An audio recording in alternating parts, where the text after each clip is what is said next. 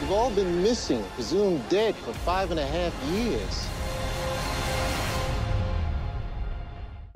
If you'd seen us that afternoon, we looked like a typical American family returning home from vacation. My brother Ben and his twins, Olive and Cal. But what you couldn't see is that Cal's leukemia wasn't responding to treatment. This flight is oversold. We are offering travel vouchers for any. That's me. So Grace and Olive and my folks took the first flight home. Funny how one little decision can ruin your life, but also save it.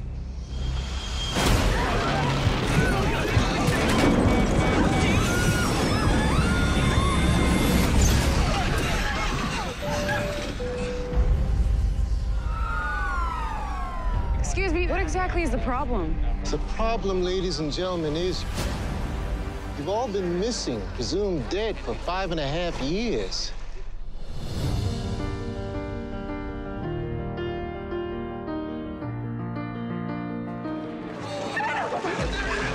Don't understand.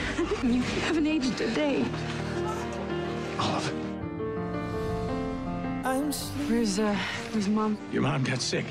No, Dad! No, no! Your cell regeneration model? It works? We've been treating pediatric patients for 30 months. We pick up with the same regimen, right where we left off. There's a new treatment protocol for pediatric cases. If we get a jump in the treatment, the odds are excellent. Didn't expect you getting back to work this fast. A lot has changed since you've been gone. Who is she? It was two years before I even looked at another one. Even before I got on that plane, I lost sight of your life. We're gonna fix that. I'm not going anywhere. The universe just gave all of us a do-over. Everything checks out. It's as if the plane never left the sky. Do I have to say out loud that that's impossible? I think we've taken impossible off the table. Is your mind messing with you? Earlier today, I heard a voice in my head. Keep it to yourself. What do you think? The government just forgot about us?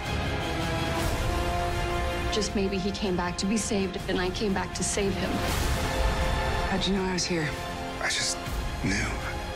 What is this? There were a lot of people on that plane. What makes us so special? What's the probability it's just you and me? No one can explain what happened to us. Some people called it impossible. Others called it a miracle. All I know is whatever force brought us all here had no interest in being investigated. This was just the beginning.